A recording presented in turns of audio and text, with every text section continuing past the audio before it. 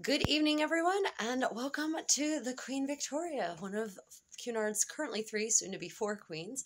Uh, we've made it on board after one hell of a trip to get here.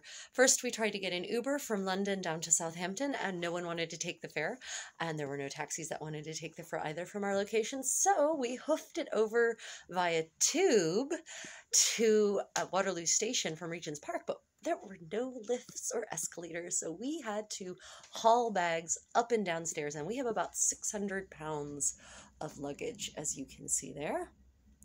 So, uh, off to Waterloo, we get on a train that's supposed to go to Southampton. Turns out it's only going to Eastleigh, where we'll have to board a bus because they're working on the tracks. It's Sunday. And then uh, the train breaks down, and we don't even get off the gate, so we have to move all of our 600 pounds of bags to another train on another platform that's leaving an hour later. And at this point, well, you know, it's pretty rough. So uh, that train eventually takes off and ends in Eastleigh, and um, there's a Disney World at spring break line of people to get on the buses that are supposed to take you the four miles to Southampton Station. So, of course, we just decided to try to get a Uber. Well, none of the Ubers wanted to take our stuff because they didn't want to put the suitcases in the passenger part of the car. So, after five Ubers canceled on us, we finally see a taxi. And thankfully, this taxi, this very pleasant Kurdish gentleman, agreed to load, do whatever we could to get it all into the car.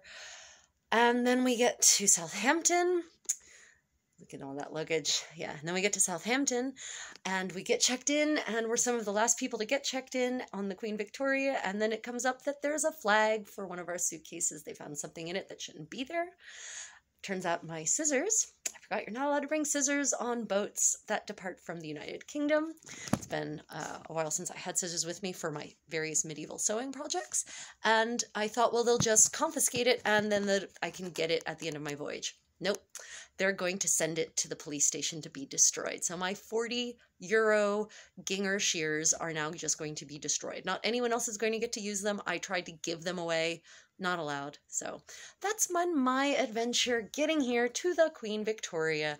We're now here and I'm going to try to relax, but I thought I would share that story with you. So here's a look at the room as a reward for listening to me rant and listening to my crazy transit adventures. There's our luggage on our bed. There's our closets back there, our flat screen TV. There is my fellow intrepid traveler and husband or condottiero, depending on how you know it, and our sofa with our 50 pounds of backpacks. And then, of course, we have a balcony, and that is the balcony door right there. Okay, everyone. Well, this turned out to be longer than I thought it was going to be, but I'm not going to edit it or do anything like that. I'm just going to post it. So you're getting raw footage. I'm sorry, but this is a raw travel vlog. Day one of our 26 day adventure aboard the Queen Victoria, setting sail from Southampton on the way to the Canaries. More tomorrow, everyone. Travel creatively, eh?